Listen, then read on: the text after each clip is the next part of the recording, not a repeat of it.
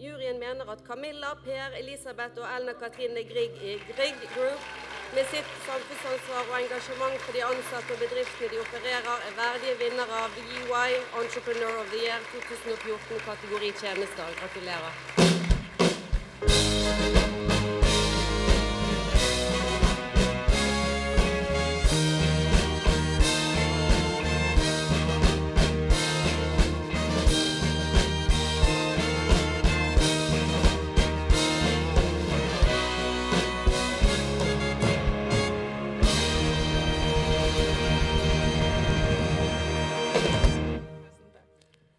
Gratulerer. Grieg. Hvem er, er, hvem er, hvem er, eh, altså, hvem er tals... Uh... alle? Ja, men Da må dere komme frem til mikrofonen. da. Eller så, ja. Dere må gjerne ta det sammen, men altså, da må dere stå veldig tett sammen. da. For det er en mikrofon på deling her. Jeg hadde ikke trodd at jeg skulle synes dette var så gøy, men det var grådig gøy. Dere sa dere skulle vinne. Ehm, skal vi takke? Eh, vi skal takke våre venner, som også er våre medarbeidere.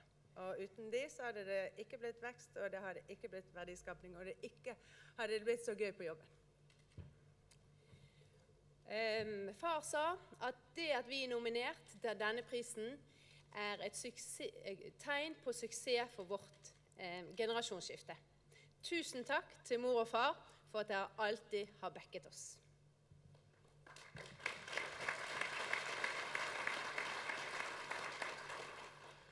Og så tror jeg vi har greid å skape en kultur for åpenhet og for kreativitet og for nye satsingsområder, og har fått backing for det. Det å føle backingen fra hele Grieg-organisasjonen på alle de nye tingene vi gjør, det er en kjempestyrke for oss.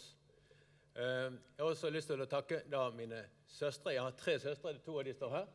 Det er steintøft, Per. Det er steintøft.